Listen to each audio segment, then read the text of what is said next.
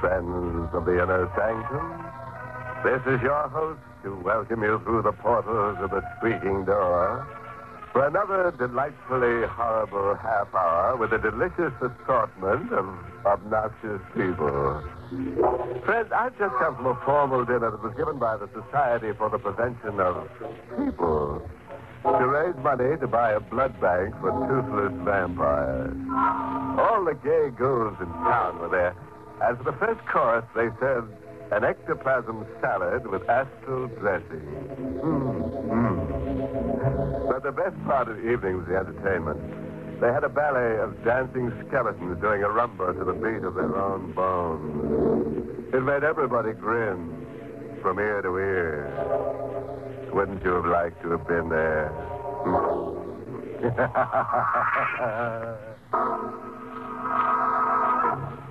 Tonight's Inner Sanctum Mystery, The Magic Tile, was written by Milton Lewis and stars Mercedes McCambridge in the role of Catherine with Everett Sloane as Mark. All right, friend. Let's get dreadful. Hmm. Now remember, don't scream back at the radio. It won't do you any good. All set. Then listen as we hear Catherine Brine tell us this story in her own words. A flash of lightning, like a giant white electric light, lit up the sky that night as I went up the walk. And Brine Mansion looked like a huge gabled tomb standing there on the hill. Its towers, two huge skeleton arms, stretching up into the black, sullen sky. For a moment I wanted to run. To run as far and as fast as I could from this house where I was born. And I wish now that I had. But much as I hated it, I had come back. Not because I lived there, not because I wanted to be there, but because in this house I should find out if I was going to live or if I was going to die.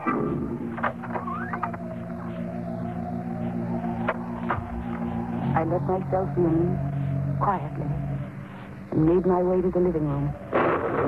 Then there was a rustling of skirts, and my mother suddenly appeared in the dim, shadowy light. Kathy, Kathy, dear. Hello, Mother. You're so late, I was becoming worried. Oh? Was my stepfather worried too? Why, yes, dear. Mark is still up. Here, you've got to take your coat off. It's soaked through. No, don't you touch me. Kathy, darling. And don't start sniveling over me again, Mother. I can't stand it. I was just trying to help Yes, you. you're always trying to help me, aren't you? Why didn't you think of helping me before you married that man upstairs? No.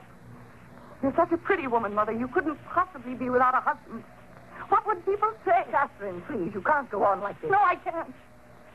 I can't go on very much longer without destroying myself. You mustn't say such things. And why not? It would make you and Mark very happy if I should die, wouldn't it, Catherine? Nobody in this house wants me to go on living. Good evening, Catherine. Mark, I didn't know you were here. I'm aware of that. I heard you. Mark, she didn't mean it. She didn't mean a word of it. Oh, but I did. And now that you're both here, there's something that I've got to find out tonight. It's very important. What is it? Ten years ago, my father died.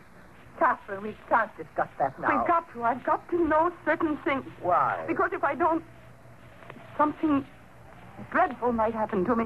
Now, Catherine, you're exaggerating. Dr. Wells doesn't think so. I've been going to him for months now. And he knows that there's grave danger that I'll go completely out of my mind if I don't find out about this. My poor No, darling. don't pity me, Mother. Help me. Tell me how my father died. You know. You were there. Catherine. Don't try to put me off. You've lied to me about my father's death ever since I was a child. Catherine, there's nothing to tell. Your father was killed in an accident. He he was a doctor. That'll be enough, Lola. But Mark, We'll call Dr. Wells the first thing in the morning and discuss this matter with him. Why don't you let her tell me? What have you got to hide? We're not going to discuss this until I speak to Dr. Wells. Lola, I suggest you come upstairs as soon as possible. Good night, Catherine. Mother? He's gone. You were going to tell me. Where was this accident, Mother? How did it happen? Who was involved? Kathy, you're in no state to hear anything right now. Mark was right. we should speak to Dr. Wells about it first. Yes, speak to him. So that you can both make up an appropriate lie to tell me. Well, I don't want any lies. I want the truth about it, Mother. And I'm prepared to go to any length to get it.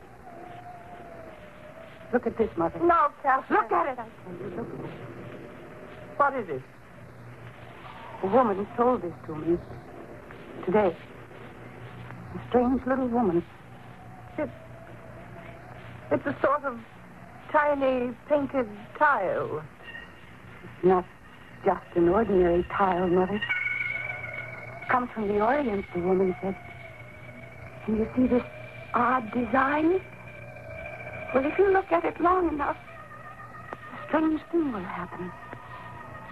You'll find yourself able to talk to the dead, to see them wherever they are, and to touch them. Catherine. And I'm going to talk to my father. You can't be serious. If you won't tell me what I want to know, then the dead will. My mother left the room, and I sat down in front of the fireplace as I used to when I was a child. I looked at the tile, at the design, and parallel lines and dots seemed to dance before my eyes. I stared at it. It seemed to hold me, to control my gaze. And then almost at once I felt an icy chill in the air, and the design vanished. In its place, there was black, infinite space filled with shadows, and still shadows beyond shadows. And then I noticed a speck of gray come out of the blackness. A strange, sulphurous odor, and it came toward me. At first very slowly, and gradually faster and faster as though it were coming to me through endless years of space. Suddenly there was an ear-shattering thunderclap. A streak of lightning zigzagged through the room in an insane dance. And then I heard the front door close. I heard footsteps approaching. I turned around, faced the doorway, and then I saw him. Don't you? You're Kathy. Kathy Brine. You know me? I did. Ten years ago. How strange this house has become. As though deep in the heart of it, something started to rot and decay. It was not like this when I saw it last. Where? Where did you come from? Tell me, how do I appear to you? How you appear? Yes, please. You have white hair, and a white beard. But your eyes. No, no, it can't be. What can be? That my eyes are the eyes of a corpse? That I look more like a dead man than a living one? Yes. That should not be so strange. Oh. Who are you? Where did you come from? Where is your mother? Upstairs. In her room. And her husband? I heard she's remarried. He's upstairs, too. Did you know my father? Dr. Bryan? Very well. Very well indeed. How did he die? I want to know that. He was murdered? Murdered? Yes, murdered. How do you know? I saw it all. You saw I was punished for it. You murdered him. No, no, no. I did not kill him. He was the only friend I had in the world. That's why I came back here tonight, you see. Didn't you ever know how your father died? No. Would you like to know? Yes, yes, more than anything in the world. He was the kindest of men. And that's what led to his destruction. He took a man under his care, a man who'd been given up as a raving maniac. And rather than see this man placed in an institution, he kept him in the guest cottage of his house. Wait. I remember now. That man was a poet. Yes. His name was Dennis D'Amour. Your father believed this man was a great poet and struggled to save him. Did this man murder my father? No. One evening, when your father came in to treat Damore, there was a third man in the darkened cottage. This man leaped at your father and drove a knife into his back. The poor madman, frightened, ran over the countryside until he was caught by the police. And he was charged with the murder of your father. You said that you saw all of this. I did. Then you, you're the... The madman. Dennis Damore. You're dead? Perhaps I am. Oh. And the murderer. Who was the person who murdered my father? You know him quite well. He's the man who's now married to your mother, Mark Weldon. I... Can you prove this? Your father is the only one who can prove this. My father? Can you bring my father back here? Bring him back? You came back. If you could only bring him and prove this. Prove it? Perhaps I can. Perhaps I will bring him back tonight. Just then there was a tremendous thunderclap, and the electric light failed. I tried to see him by the firelight, but he wasn't in the room. I ran to the door, stumbling over furniture in the darkness and screaming for him to wait. I opened the front door, but he wasn't there. And when I came back into the living room, my mother was there, and with her was Mark Weldon. Chelsea, we heard you screaming. Did you, Mother? What happened? I. I found out how my father died. Really? How? He was murdered. Did you tell her anything? No, not a word, Mark, I swear. Cassie, how did you find out? I told you how I'd find out. That. That child? Yes, that tile, Mother. It works. That's impossible. Of course you'd say that. But I discovered tonight that you, Mark, you murdered my father. You cleverly arranged that a poor patient of his named Dennis Damore would be arrested for the crime that you committed. Who told you this? Dennis Damore. Damore. Was he here? Yes. And he told me everything. And you believed him? Why shouldn't I? Why, the man's a maniac. I don't know how he ever got here. He should be at the State Institution for the Criminally Insane. Number, please. Hello, operator. Will you put through a call to the State Institution for the Criminally Insane at Blyton? I wish to speak to whomever is in charge. And call me back as soon as you get them. It's urgent. Yes, sir, I understand. Thank you. Catherine, you actually claim you spoke to this man? Yes, Mark. And he told me that he saw you murder my father. You're lucky you escaped with your life. The man's a homicidal maniac. I, I find it shocking that you should even begin to believe this fantastic story. But it seems to be true, Mark, doesn't it? My father was murdered, and Dennis Damore was sent away for the crime. Yes, that part of it is true, but to accuse me? He not only accuses you, Mark, but he's going to prove it How? by bringing my father back here. Laura, we've tolerated her in this house for... Hello. Hello, uh, this is Dr. King, night supervisor of State Institution. Oh, hello. This is Mark Weldon speaking. Uh, has one of your patients, Dennis Damore, escaped? Uh, Dennis Damore, the poet? That's right, a homicidal maniac. Well, he hasn't escaped, Mr. Weldon.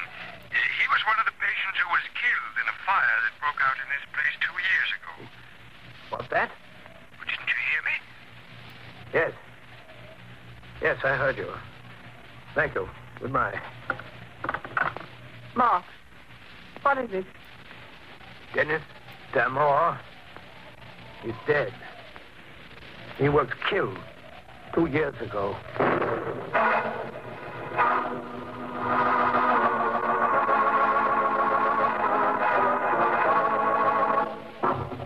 Well, friends, how'd you like to have a little Chinese tile that can produce dead men for you? Hmm? Or don't you think that Dennis Demore is a ghost? Maybe you think he's just an old pop-eyed poltergeist. well, we'll know in a moment. As we hear Captain Bryan tell us the second half of her weird story. My stepfather's hand trembled as he hung up the phone. Even in the red glow of the firelight, I could see that his face had suddenly turned snow white. My mother said nothing, But she stared at him as he went to the desk and lit one of the kerosene lamps which we use when the electricity fails at Bryan Mansion. It's impossible. The dead can't come back. Unless you're making up this whole thing, Kathy. Why should I invent a story like this? Because you've always been insanely jealous. You've always hated your mother for marrying me. Isn't that true, Laura? Isn't it? Yes, it's true. There. You see, Catherine? Your mother loves you. She wouldn't lie. Now, tell us the truth. You made up this whole wild tale about Dennis Damore, didn't you? No, Mark, I didn't invent it. Dennis Damour was here. He couldn't have been. He's been dead for two years. Then how would I know the things I told you? I don't know. That's what you've got to explain. Mark! Why does this upset you so? If you didn't murder my father, what difference does it make about Damour? Why are you so frightened? I'm not frightened. I'm just determined to get to the bottom of this thing. What was that? Just the thunder, Mark. Laura, why are you looking at me like that? Like. Like what? Staring at me. As though you've just seen me for the first time. Do you believe this mad story Catherine's told us? Do you think I murdered her father? I just remembered certain things, Mark. I can't help it if I think of them now. What thing? Tell me what thing? Two days before the murder, you told me you were in love with me. I sent you away. I told you never to come to this house again. Yes, go on. On the night of the murder, I saw you standing in the moonlight near the guest cottage. You did? I thought I was mistaken, especially since you claimed you were at home that night. Mark, now don't be angry with me. I can't help thinking of these things now. It's only natural. Natural? Is it natural for a man's wife to accuse him of a crime like murder? And on the basis of what? The word of a psychopathic girl who should have been confined long ago. She talked to a man who's been dead for two years. I suppose you believe that too. And who is this man, even assuming that he is alive? A madman, a homicidal maniac who took your first husband's life when your husband tried to kill him. Well, I've had enough of this. Mark, what are you taking out of that drawer? Kathy, come here. Why, Mark, put that gun away. Shut up, Laura. Kathy, I won't hurt you unless you try something dangerous. I'm holding this gun because I believe your mother and I are no longer safe in the same room with you. Now, I want the truth. You were lying to us before, weren't you? No. Very well, then. Who is this man you saw? I'd like to see him, too. I don't know. Of course you don't, because he doesn't exist. He does. He appeared when I looked at the Chinese tile. The Chinese tile. Good, good. Look at your Chinese tile now. Make him appear. Well, you're trying to make a fool of me, a liar. You do as I tell you. Look at that tile. Go on. All right. I will. Now, what do you see? Nothing. But the design. Yes, and that's all you're going to see. No, no. No. The design is fading. It's getting dark. Dark. Nothing but blackness.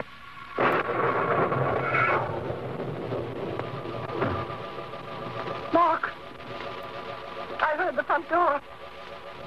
Someone just came in. Yes. Those footsteps. That's just how he came in the last time. Perhaps, I doubt it. Oh, it is Damore. Do you remember me, Laura? Yes. You've changed a great deal, but it is you. Mr. Weldon, it's been ten years since I've seen you. More. Then you're not dead. There must have been some mistake when they identified you. Not dead. You escaped. Someone must have been identified instead of you. That's the only explanation. It depends on what you choose to believe, Mr. Weldon. I brought a guest with me. My father. That's Brian. I'm sure you know these people quite well. Of course you do. What's he saying? He's talking to my father. That's right, Kathy. Unfortunately, you cannot see him. But he is here. Aren't you, Doctor? Demore, what are you up to? What do you think? If you come back here to make trouble. Trouble? No. I've come back because someone wanted to know the truth. And I brought the doctor back for the same reason. Doctor, Before these others, I want you to tell us who murdered you. Who murdered you? Look! You shot him! Yes. Why? Why? Dangerous. A maniac. That's not the reason. It's because you murdered my father and you didn't want us to know. All right, Kathy. I did kill him. Mark! It doesn't make any difference now. This maniac has planted the suspicion in your minds. You would have found out sooner or later. Mark! Yes, I killed him. For you, Laura. I loved you. That's over now. It's been over for a long time. I know what to do now, and it's going to be very simple, thanks to our friend lying there. What are you going to do? Don't you know, Laura? It's so simple. Your bodies must be found in such a condition that they will be certain Damon killed you. Then I'll tell them how I shot the homicidal maniac to protect myself. The same way he killed my father. Yes, Kathy. You won't die, Kathy. Damon! Did you think you could kill me, Weldon? Damon! Do you think those shots will stop me? No, no. Don't you come near me. Stand back. Nothing will stop me, Weldon.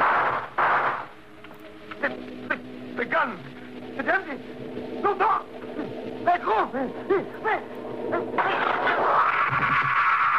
I saw the bullet strike Gilmore. They hit him, but they didn't stop him from lurching toward Mark and seizing him by the throat. As they fell to the floor, the kerosene lamp fell off the table. It might have been the wind, but I believe otherwise. I'm almost certain it was my father. And then in a moment, the drapes were on fire and the whole place was blazing. I screamed to my mother to leave, and she ran with me out of the blazing building, out into the storm that raged outside.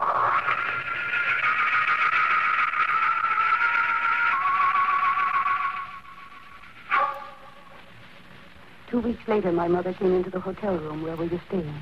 I've just come from the police, Kathy. Well, Mother, Only one body is positively identified. who's Mark. The other body? They haven't been able to find it amongst the rubble. I don't believe they ever will. But, Kathy, the police checked with the authorities at the state institution. It seems that some of the patients did escape at the time they had the fire there two years ago. It's possible that Demore was among them. It's possible, but I doubt it. You think Demore died two years ago? Yes, Mother. Don't you? A short time later, the police found something in the ruins of the building that had once been a human being. They assumed it was the remains of Dennis Damour. Identification was impossible. However, these remains freed us of all suspicion. And now we are living in the city, a long way from Bryan Mansion, where I know that the dead come back to settle their debt with the murderer.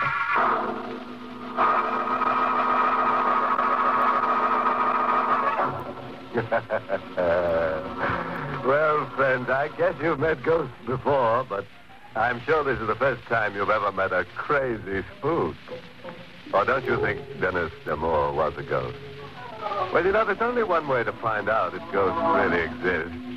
Just ask one to haunt you sometime. and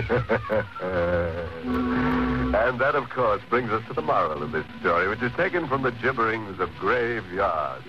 The wise old lunatic who said, If you wake up screaming in the middle of the night, close the window, don't bother the neighbors.